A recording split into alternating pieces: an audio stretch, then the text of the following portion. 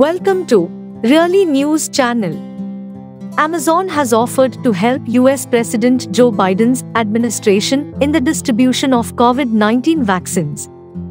Amazon's retail unit chief CEO Dave Clark has also promised to assist the administration in reaching their goal of vaccinating 100 million Americans in the first 100 days of their administration.